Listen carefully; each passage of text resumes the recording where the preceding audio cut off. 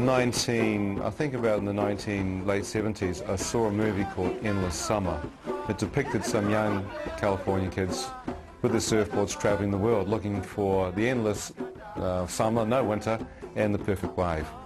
It captured my heart and I thought, well, that's me.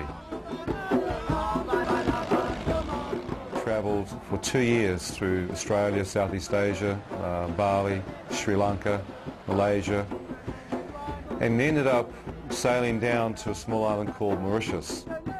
And this island had great surf and great diving. I surfed there, dived there, lived with the local Creole fishermen, Simon and Danielle Dadoon, in a place called Tamarin Bay.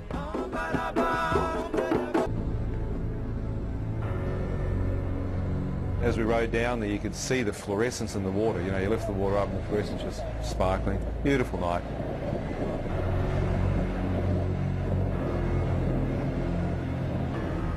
And we came down to Riviere Noire, which is on the outer reef, and dropped in. And we started um, getting crayfish. It was quite dark because the clouds were coming in, so there was no real moonlight, and there was a little bit of a chop on the water.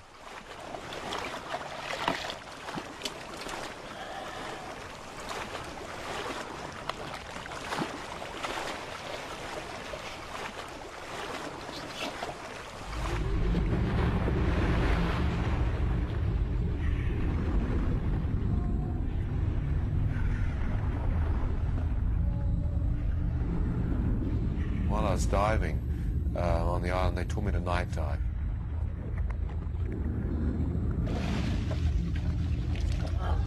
We to dive on the outer reef. And as we dived, we'd, we'd look with our diving torches because the crabs and the crayfish would come out. And with your torchlight, you could blind them. With your leather gloves, just pick them up. So I looked around the water and started making out these jellyfish, box-shaped, finger-like tentacles. I thought, well, is that, a, is that a jellyfish? Yeah, it must be. So I reached out, and sure enough, it was a jelly. As I swam through, I had no idea that I'd just reached out and grabbed potentially the deadliest, some say the second deadliest creature known to man, a box jellyfish, obviously, because it's box-shaped. But it's transparent, bell-shaped with cube, like a cube underneath the bell, with finger-like tentacles coming out. I actually thought it was like a transparent cuttlefish, or a, it was a very unusual looking jellyfish.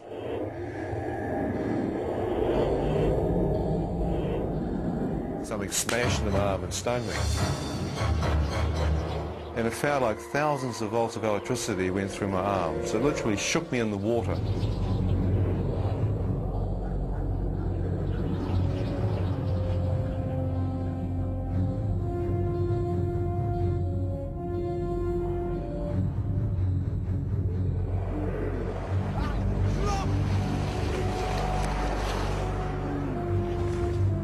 Swam towards them, I started getting stung by more.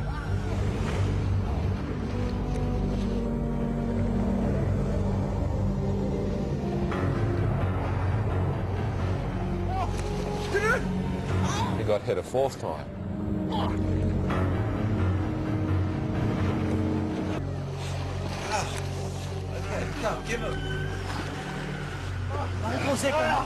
Parce que vous, vous les avez que.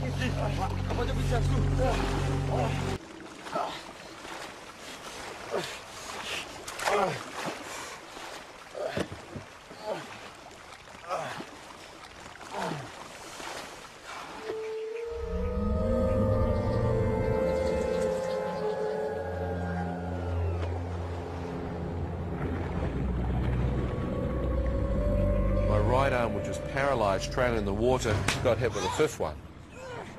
As I felt that, I thought to myself, what on earth have you done to deserve this kind of punishment or payback? I had a flood of memories of stuff that I'd done wrong in my life.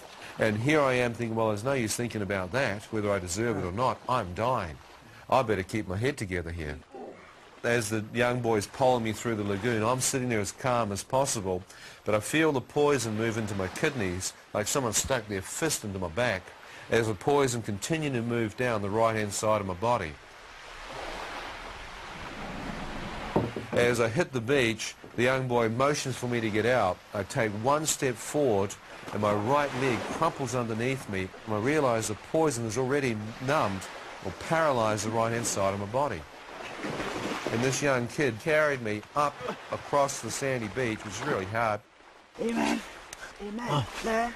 Yeah. Amen. Man, right. Man. Man, amen. Amen, all right, man. Amen.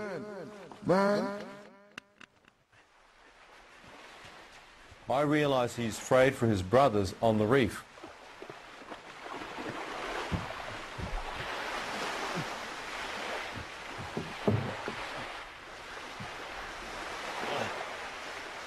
I just lay down on the ground. And I started to feel very weak and tired.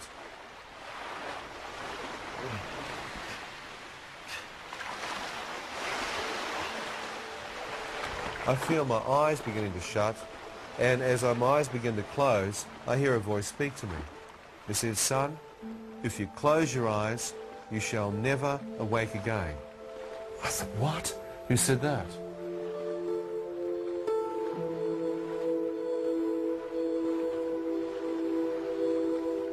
As I looked to my right, I expected to see a man standing next to me, but there was no one there. That's bizarre. So I stood up, fought off the, the, the, the, death that was coming on me as best I could, and found my left leg was still strong enough to support my weight. I used my right leg as a crutch and put my weight onto the left-hand side of my body and hobbled down the road looking for help.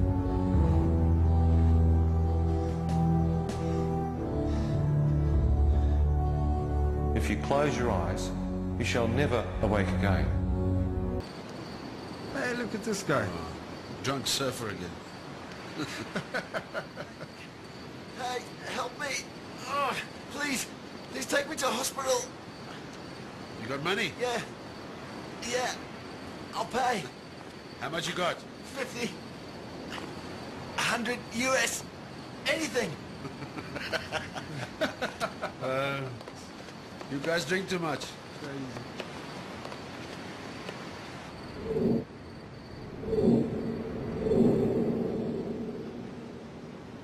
As they walked away, lighting up a cigarette and just ignoring me, I heard this voice speak to me again. It said, son, are you willing to beg for your life? Please. Please. Please. How much you got on you? I will pay. I will pay you.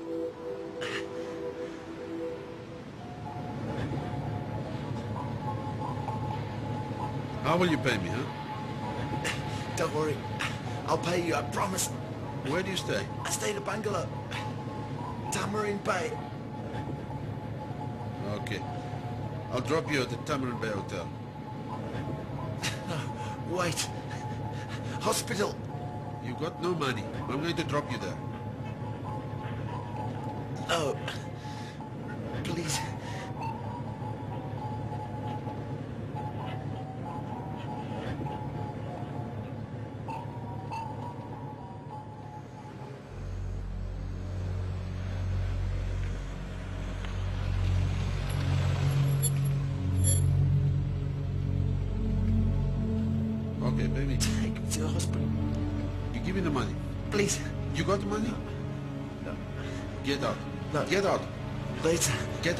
This to me? Like, I flew out the door. I couldn't believe what was happening. please.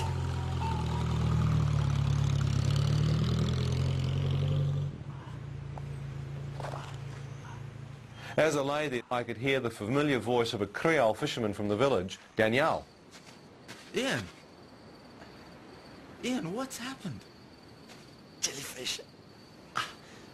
Jelly, jellyfish? Jellyfish. I'll take you to the hotel. Grabbed me in his arms, he carried me into the hotel.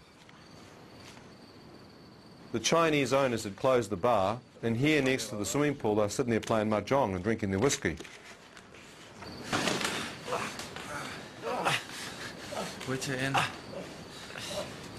get an ambulance.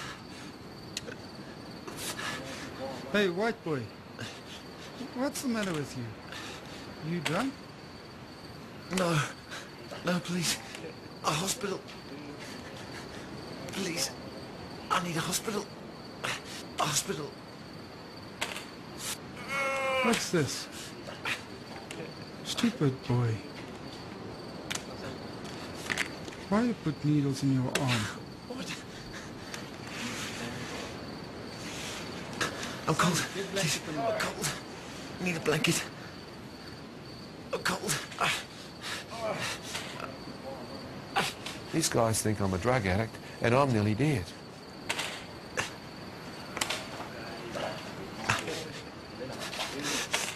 Stupid boy. Stupid boy. Yeah. Dad, here's a... Yeah. Yeah. Try to take some.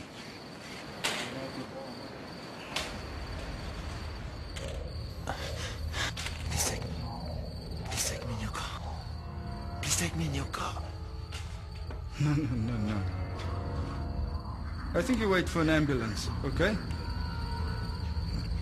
He wants my car. I looked away. I knew if I looked at him, I'd lose it. I thought to myself, if I, if I survive this, you're history, Jack. I mean, I was furious. I'm looking away, contemplating what I'm going to do to him if I survive it. And I see Danielle appear from nowhere, runs up to my side, and to my amazement, an ambulance comes flying to the car park. Jellyfish. Please, hurry, please. Jellyfish? Careful with it. It's alright, it's alright, Ian. It's alright. Don't worry, don't worry. You'll be alright.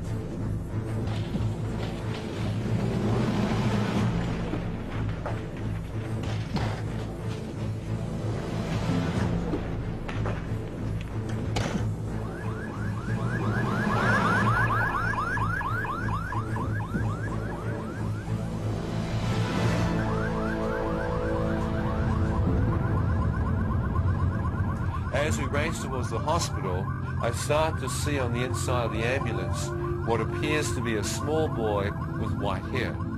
I see sections of some kid's life with snow white hair.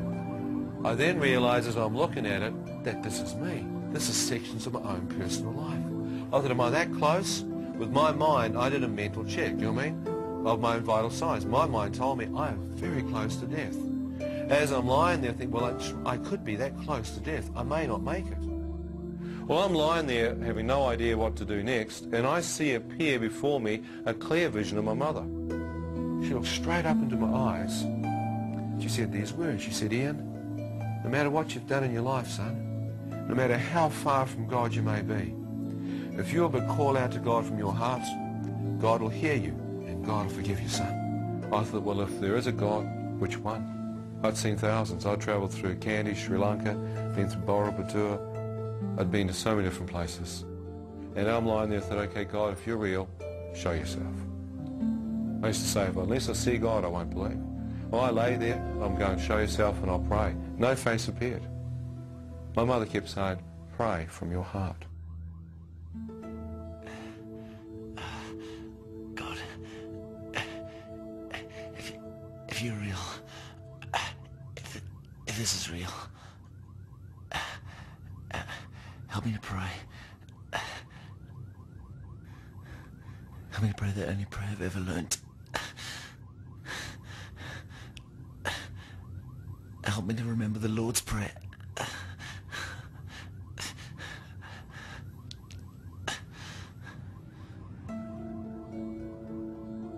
As I said that, words began to appear before my eyes.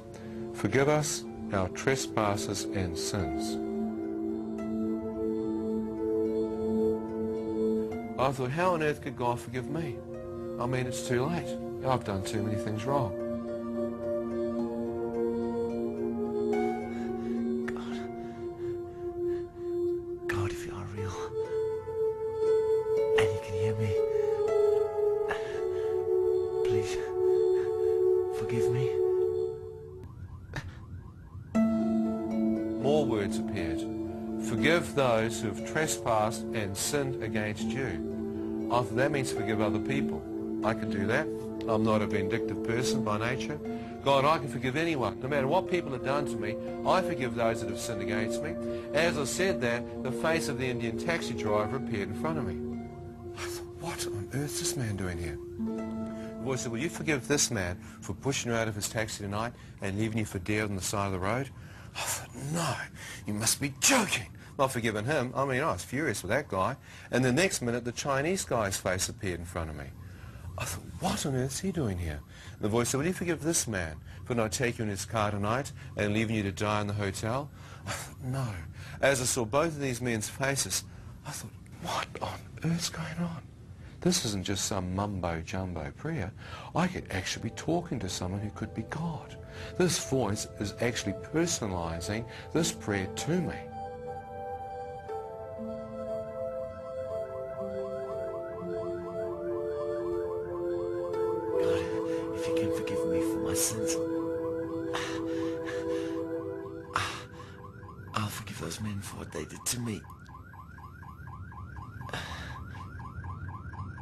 Their faces instantly disappeared. The next words came, Thy will be done on earth as it is in heaven. I thought, Thy will? I've led my own will. So I said, God, I need to know your will, that if you can help me through this, I'll seek it out. I'll find it and I'll follow you. I'll honour you all the days of my life. As I said that, the entire Lord's Prayer appeared before me, and for the first time in life I had total revelation of what it meant. Thy kingdom come. Thy will be done. And as I lay there, I felt an amazing peace settle upon me. I knew somehow, deep in my heart, that prayer had changed from something that I did like repetitious stand up, sit down and kneel type thing through the liturgy. It had changed dramatically and that I actually prayed for my inner man.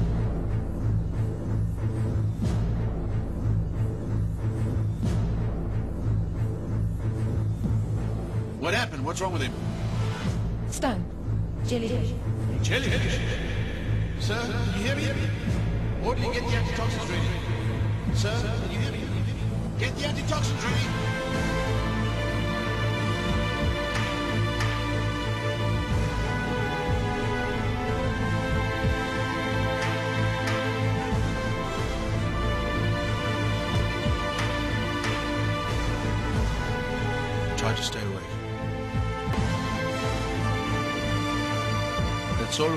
For you right now. Fight the poison. Fight the poison.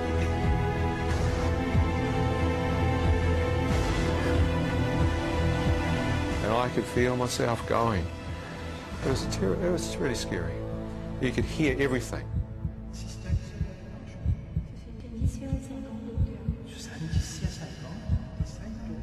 Well, I lay there and I had doctors milling around me and nurses and orderlies, but I found it so difficult to keep my eyes open. I just couldn't seem to keep my eyes open. I remember shutting them and sighing a sigh of relief and thought I'll have a break for a few moments and then I'll try again. As I did that, I felt a sensation like a release.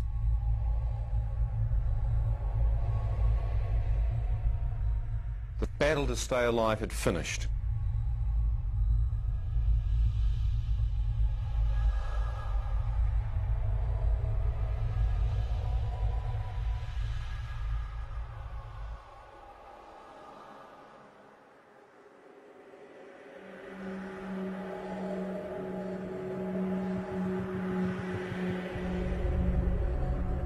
Suddenly found myself in a standing upright position, wide awake. I knew I was awake. The trouble was, it was pitch black. And my first thought was, why on earth those doctors can't turn the lights out in here? What kind of hospital is this? As I stood there, wondering how long I'd been asleep for and why the lights are out, I thought, well, don't freak out. Let your eyes accustom to the dark. Maybe you've woken up too quick. So I kept looking, thinking my pupils had dilated. No light. Couldn't see a thing. It was pitch black, like a dark room. So, well, well, okay. There must be some light in here somewhere. So I turned around 360 degrees, checking out to see if there's some light. Couldn't see a thing. As I went out to my right, I couldn't find the wall. I thought, that's weird. Have they moved me? So I started moving back to the left, groping around looking for my bed. Couldn't find it. I thought, great, you idiot, now you've lost your beard. How on earth did you do that? So as I'm groping around physically trying to find my beard, the next thought that comes into my mind is that it's so dark in here, you can't seem to see your hand in front of your face. So I brought my hand up to where my face should be, and it seemed to pass straight through, as if there was no physical form there. I thought, that's impossible. You can't miss your head. I went for my physical body, absolutely nothing. What the heck's going on? It's like I'm out of my physical form. It's like I'm transparent, yet I have the uh, sensation of being a total human being standing there. Ian, who I am, appears to be standing here. What's happened? And as I stood there, I began to sense something on the out to my right looking at me. In front of me, I felt like invisible eyes or something or someone checking me out. Darkness had an evil presence, a cold, encroaching evil pervading the atmosphere.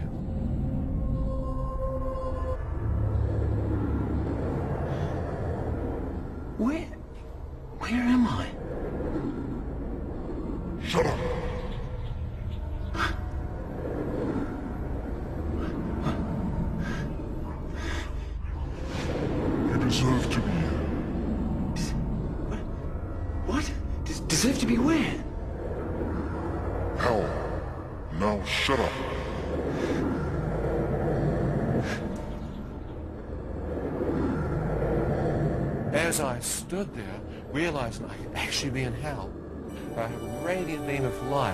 through the darkness above me.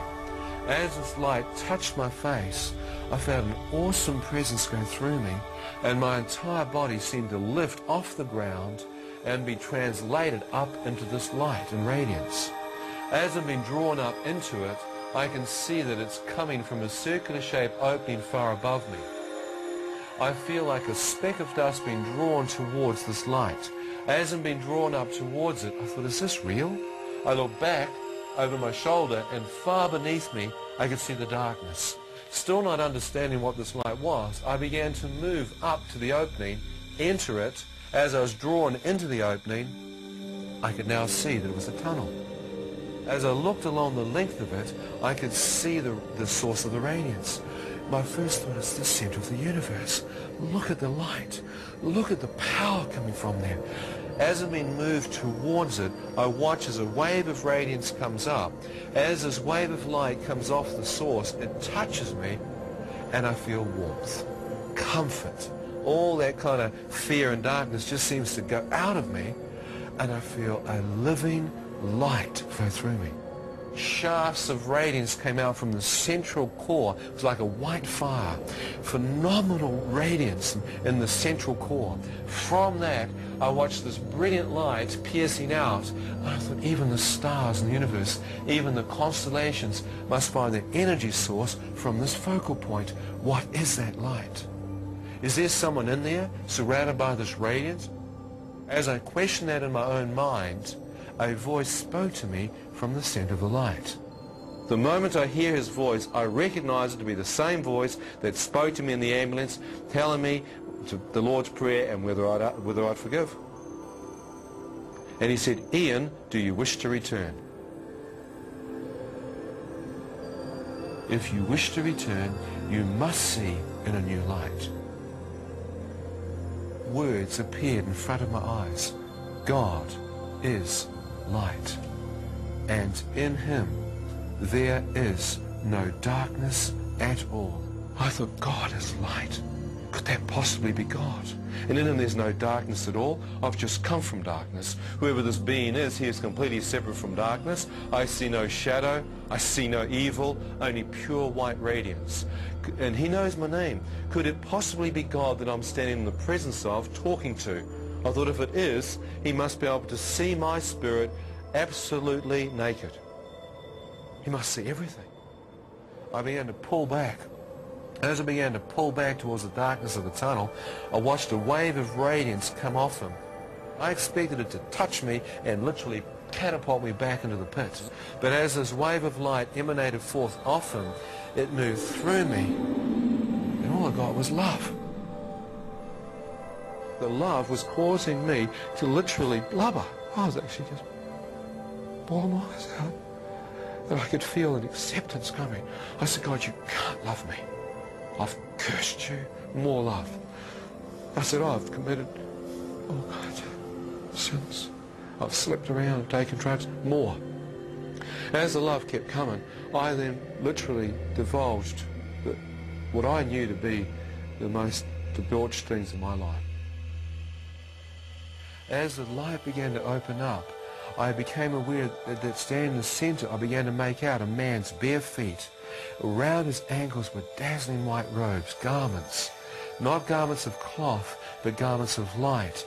As I looked out and saw that, I began to lift my face up to see the chest of the man and, and his arms were outstretched with dazzling white robes as if to welcome me. As I looked, I knew that I was looking upon God. Such.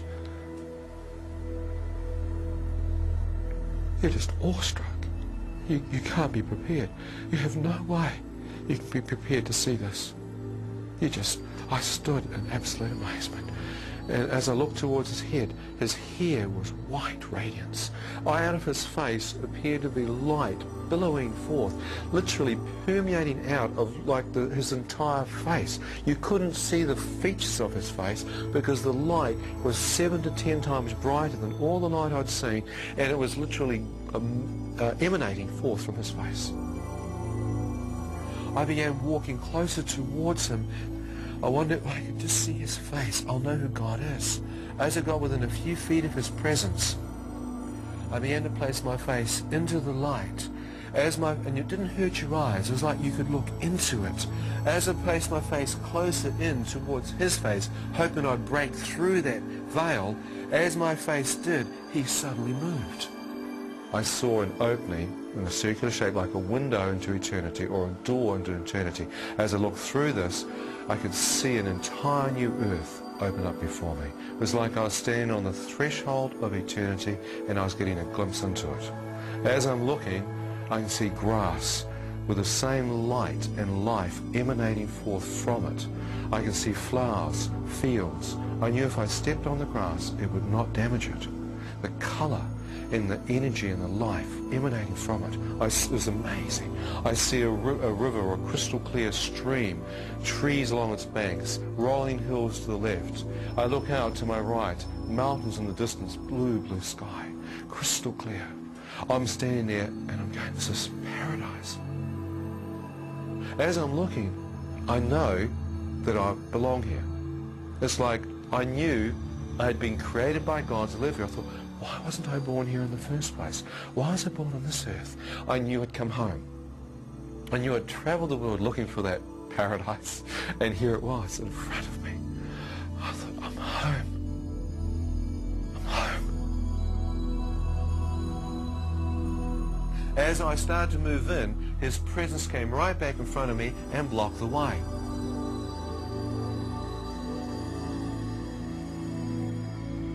He asked me this question. He said, Ian, now that you've seen, do you wish to go in or do you wish to return? God. I'm not married. I've got no children.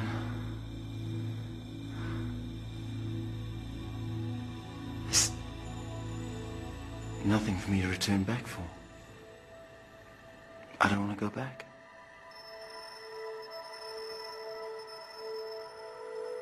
As I look back, to my amazement, God showed me one person that had loved me. The moment I saw my mother directly behind me, I wept. I thought I've just not only lied to God, but there is someone who loved me. And I thought if I'm dead, and this is actually happening, and I step through into paradise, into the presence of God, will my dear mother have any idea that her heathenistic son prayed in that ambulance, repented of his sins, gave his life over to God, and God heard this young man and caught him up into paradise? I thought my mother will think her son went to hell. I thought she'd get a, a telegram or a telex saying your son died last night. Would you like him shipped home in a box or a jar of ashes? I thought if that happens, it could destroy her. She's suffered so much. She's lost her family. And I thought, near I, how selfish would it be for me to step through and leave my mother to bury me and think I went to hell?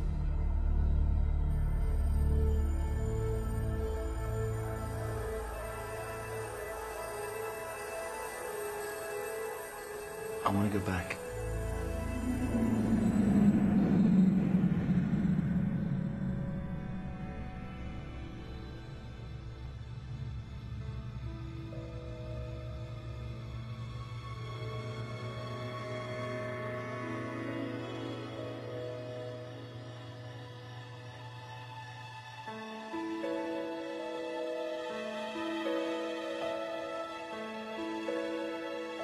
Was instantaneously back in my physical form in a hospital with the doctor that had been working on me holding my right foot in the air with a sharp instrument like a scalpel or a knife prodding the base of my foot. I could feel nothing, prodding it like a dead piece of meat.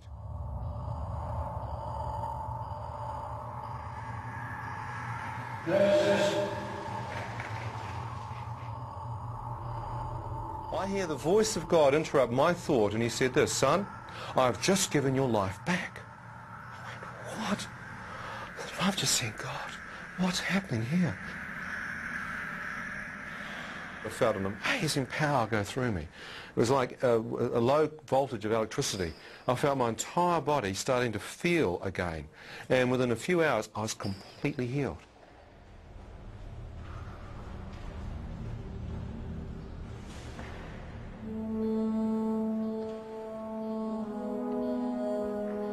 I said, God, what have I become?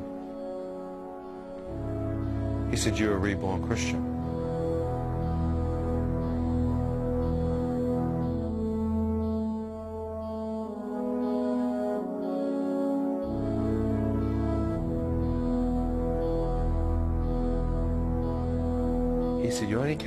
Because your sins have been forgiven and the blood of Jesus covered you.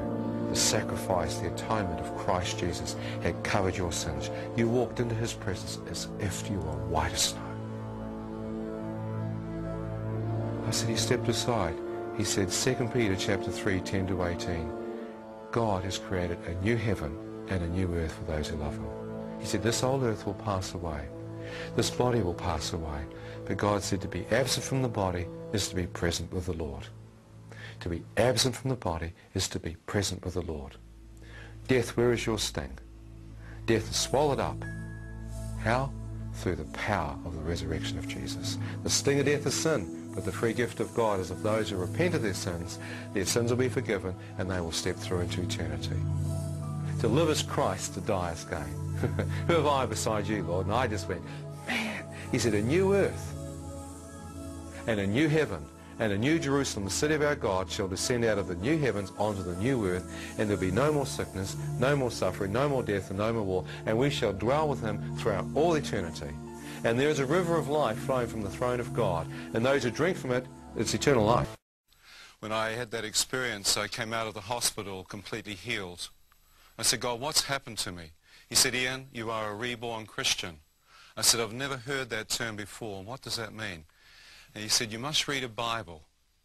I remember over the next six weeks in 1982 reading the Bible. As I did, I said, God, what took place? He said, Ian, you are a reborn Christian, and I read it in John 3.3 that a man must be born again of the Spirit of God to enter the kingdom of heaven.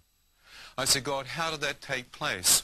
He said, Ian, in that, in that ambulance, as you saw your life go before you and you saw your mother praying for you, the words came, forgive us our sins. We forgive those who have sinned against us, and we give our heart over to Jesus Christ. He said, when you pray that prayer, I forgave you and cleansed you and washed your spirit as white as snow. So there is a spiritual battle for, for our soul. Kingdom of darkness versus the kingdom of light. And he said, Ian, when you turned your heart over to me, all the darkness was cleansed from your spirit in a moment in time, and the blood of Jesus washed your soul clean. I said, God, I seem to go into darkness. What is that?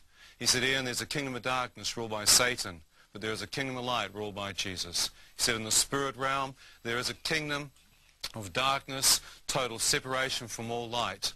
I said, God, why did you take me through that? He said, Ian, had you not prayed in the ambulance, I'd have left you in outer darkness until the day of judgment. But I chose to show you the valley of the shadow of death, that evil could not touch you because I was with you. I said, God, I moved through a tunnel of light. He said, Matthew 7, um, 13 and 14, narrow is the way that leads to the kingdom of God, few find it. Broad and wide is the pathway that leads to destruction and outer darkness. There is a highway of holiness, the Lord spoke to me. I said, I felt love and joy and peace. He said, my Holy Spirit brings love and joy and peace and comfort to those who love me. I said, God, I saw my arm and it was transparent. He said, Ian, in the twinkling of an eye, your perishable body will go and you'll take on immortality. Death is swallowed up in victory because the free gift of God is eternal life in Christ Jesus. I said, God, I came into a, a, light that seemed to fill the heavens. He said, my son Jesus is glorified. He is surrounded by unapproachable light. I said, then how did I come into that light? He said, the veil has been torn of the Holy of Holies, that we have entry in through the blood of the Lamb into the holy place. I said, I saw a man in white robes and his face shone with a radiance that seemed to fill the universe. He said, that was my son Jesus in his glorified heavenly form. He said, my son died on the cross for your sins, the Lamb of God who takes away the sin of the world. But he rose again from the dead, and he is, uh, he is glorified. I said, where is that mentioned in the Bible? he said in Revelations 1, 13 to 18, in the midst of the lampstands stood the Son of Man with white robes reaching his feet. His head and his hair were white like wool like snow, and his face shone like the sun in full strength. He said, Do not be afraid. I was dead on the cross, but behold, I am alive forevermore. I hold the keys of death and Hades. I have conquered over the power of evil. I am the resurrected Yeshua HaMashiach, the Messiah. I said, that's Jesus. I said, he stepped aside. He said, John 10, 7 and 9. Jesus said, I am the door of life. Those who come to me shall have life, life eternal, abundant life, resurrection life. And I said, God, I saw green pastures. He said, a new heaven and a new earth for those who love me. He said, son, I've created a new heaven and a new earth. It's 2 Peter chapter 3, 10 to 18. He said, I saw people behind me. He said, I wish that none would perish. Do you realize that tonight he desires you to come to know him? His arms of love, which were stretched out on the cross, so great a love had God that he died on the cross for you. That his heart is that he wishes none of you would perish. That every single one of you, every person, no matter how broken, no matter how smashed, no matter how abused, can be forgiven and healed. The Spirit of the Lord is upon Jesus to heal the broken hearts to set captives free from every bondage, every sin that comes. He can set you free. Purify your heart and fill you with life eternal. Many of you are living for the moment. You've pressed the self-destruct button years ago. But I tell you what, I had a praying mother who never gave up. And some of you have got family, grandparents who have prayed for you. And the heart of God is for you to respond to that act of love. For you to humble yourself like prodigal sons and daughters and come back into the house of the Lord, to come back and find forgiveness, to find healing in Jesus Christ. I said, God, I came back into my body. He said, I am the resurrection and the life. He said, I can speak to that which is dead and call it back to life. He said, son, if you come to me, you will have the resurrection power dwelling within you. And when you die, I will take your human spirit into heaven. He said, to be absent from the body is to be present with the Lord. He said on the cross when Jesus hung there, he said, Father, forgive them. A man next to him was a murderer and a thief. He said, remember me. The other man cursed him. Jesus turned to the man and said, today you shall be with me in paradise. To be absent from the body is to be present with the Lord Jesus Christ. Death is swallowed up through the power of his blood. All I know is that he loves me. I've had 19 years of experience in the tangible presence of the Spirit of God. He has completely healed and set me free. God has given me a great, great wife, and an amazing family, and I have hope for the future. And I know, no matter how suicidal or how much despair is in your heart, no matter how much your marriage is smashed, we've heard folks here this evening say that only through prayer and forgiveness can your marriage be healed. No matter how much people have rejected you and, and, and crushed you, God loves and will bring you back up into a place of wholeness and a place of life itself. Jesus is the life of the world. I'd like you just to open your heart up tonight and to really pray. Seek the face of God. I prayed in an ambulance on, on, my, on my deathbed and gave my life to Jesus. He hears the cry of a man's heart. Any man, woman, or child would say, Lord, come into my heart. Forgive me. Have mercy upon me. He will do that. All I know is that God is out there in a, in a tangible way, reaching out to you with his love, with his, his nail-pierced hands, and saying, come back. Come back home. Come and dwell in the house of the Lord forevermore. I'd like to pray with you, and I'd like to pray a prayer that if you can make it your own, if you can actually call out to God from your own heart, he will come into your life, and you will be born again. Jesus says that those who call upon his name shall be saved, that nothing but the blood of Jesus can cleanse you from all your sins. Many people have seen this tunnel of light, but very few people have stepped through to see that it's Jesus in the center. I said, God, some people don't even believe that it's you. I said, why is that? He said, because Lucifer can come as an angel of light and deceive even the elect, deceive people away from the true light. Scriptures say that Jesus is the true light that came into the world to lighten every heart. That he is that bright shining star, that he is Elohim, he is Yeshua, he is Emmanuel, God with us. He is Jehovah, the Lord God Almighty. People said, oh, I want to pray to God, but I don't believe in Jesus. Jesus said, when you've seen me, you've seen the Father. The scriptures clearly teach in Colossians that Jesus is the visible representation of the invisible God. That here, when you've seen Christ, you've actually seen God incarnate on this earth. Jesus said, not only am I God, but I will die and rise again from the dead. He prophesied his death, and after three days he rose again. He is glorified, surrounded by light. And it says the glory that surrounds Jesus will fill the new heavens and the new earth. You will not need the light of the sun or the light of the moon because the light and glory that shines forth from the Son of God shall fill the heavens with his radiance. It's amazing to have him in your heart. If you receive him tonight, the darkness will be removed and the life and light of Jesus Christ will come in. Let's pray. If you want to join with me right where you are, I'd like you just to bow your head in an act of humility and open your heart because those who call upon the name of the Lord from their heart shall be saved. I'd like you to say, Lord Jesus, I humble myself before you tonight. I ask you to forgive me of all my sins.